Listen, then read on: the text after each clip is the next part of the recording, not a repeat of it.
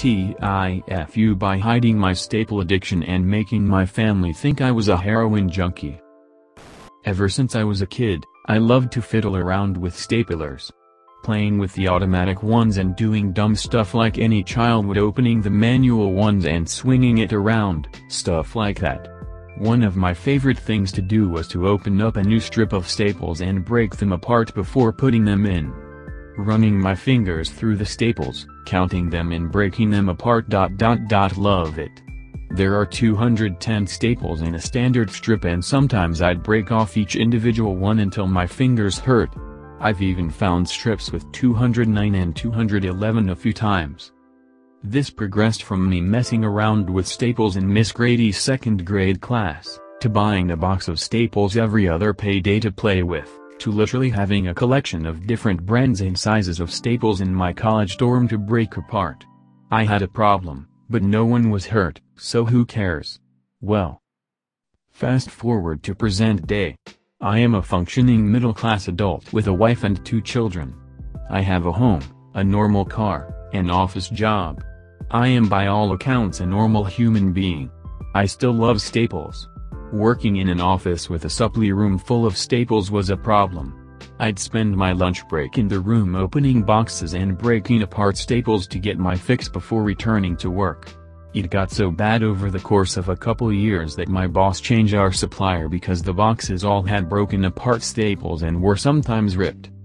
So I had to stop doing that. Dot dot dot I turned to Amazon first, buying 10 boxes of staples at a time for about 20 bucks a pop. It wasn't enough. I went to 20, then 40. My wife got curious then and asked why are you buying all of these boxes of staples? But I brushed it off as a work issue that I'd get reimbursed for and knew I had to change my methods. Over the course of a few months I enabled myself. I started using cash only at different office supply stores around my town and neighboring towns. I would sit in my car and break apart staples before going to the next store. I began to stay out late and tell my wife I would be home soon, so I could go buy more staples from different stores. I opened up a new credit card to put online so she wouldn't know but she caught it in the mail. She got suspicious because things weren't adding up. This past Thursday after one of my late nights I get home with a trunk full of broken staples and 10 freshly broken boxes in my passenger seat to see my parents' cars at my house. I walked in and everyone is sitting around like it's an intervention. Because it is. My wife asked if there was anything I wanted to tell them, and to tell the truth about my problem. I sat down and kept saying what are you talking about until my mom said honey, we saw the pictures. Then my wife tells me that my late nights, excuses, and general weirdness about the credit card, and some other little things made her hire a private investigator.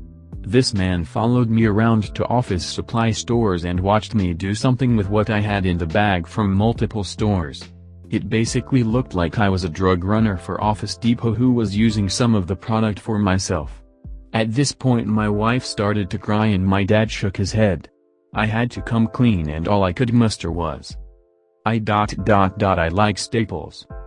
The WTF looks I got afterwards turned into disbelief, then concern, then fits of laughter when I showed them my car dot dot dot dot I came clean. I backed this up by showing my secret stash of used staples in my attic and explained the purchases on the car to my wife. Right now my only concern is my dad. He didn't laugh just kind of shook his head continually in disappointment without saying a word. Believe it or not, I think therapy or addiction meetings may help, as my wife gave me these suggestions the day after. I may or may not do that, but the good news is I now can have a staple hour once I get home and my budget for staples is allowed by the wife for now.